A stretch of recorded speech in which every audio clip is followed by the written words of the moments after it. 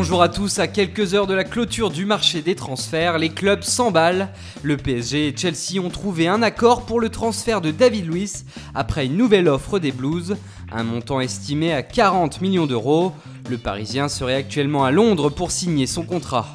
De son côté, l'OGC Nice a fait passer une visite médicale à Mario Balotelli. L'arrivée de l'attaquant italien de Liverpool en Ligue 1 est désormais imminente.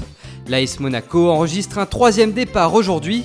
Après Wagner Love et Marcel Tisserand, Ivan Cavallero a signé à Wolverhampton. À l'OM, on a officialisé aujourd'hui le retour de Rod Fanny. Et ce n'est plus qu'une question d'heure pour voir débarquer Clinton Ngier. L'attaquant sous contrat avec Tottenham est arrivé à Marseille aujourd'hui afin de s'engager avec le club phocéen. Au rayon départ, les supporters marseillais attendent toujours des nouvelles de Lassana Diarra, le milieu français étant proche de deux clubs, Al Jazeera aux Émirats Arabes Unis et Galatasaray en Turquie.